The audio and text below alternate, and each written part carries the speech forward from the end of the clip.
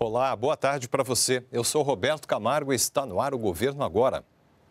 Estão abertas as inscrições do ENSEJA, o Exame Nacional para Certificação de Competência de Jovens e Adultos. Uma oportunidade para quem vive fora do Brasil e não tem o ensino completo. Quem tem os detalhes para a gente é o repórter Ricardo Ferraz. Olá, Ricardo.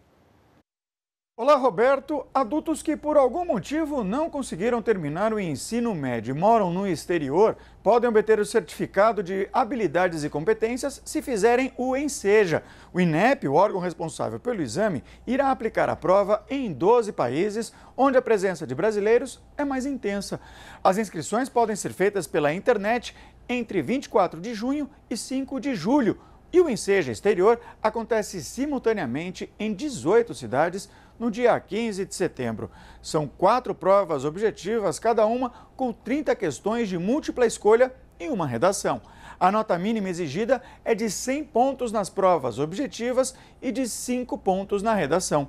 Quem passar estará apto a fazer uma faculdade, por exemplo. O INEP disponibiliza material gratuito para quem quer estudar para o exame. No total, são quatro livros do estudante para cada uma das matérias que caem no Enseja. O material e as inscrições podem ser encontrados no site do INEP, inep.gov.br.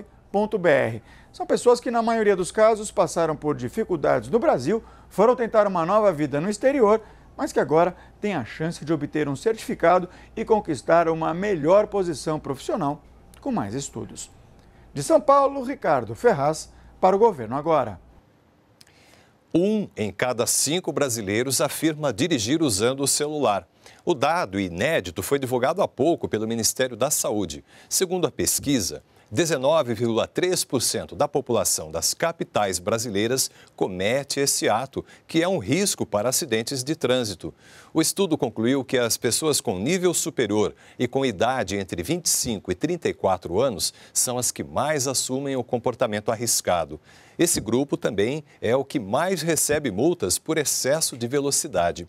Os acidentes de trânsito são a segunda maior causa de mortes no país.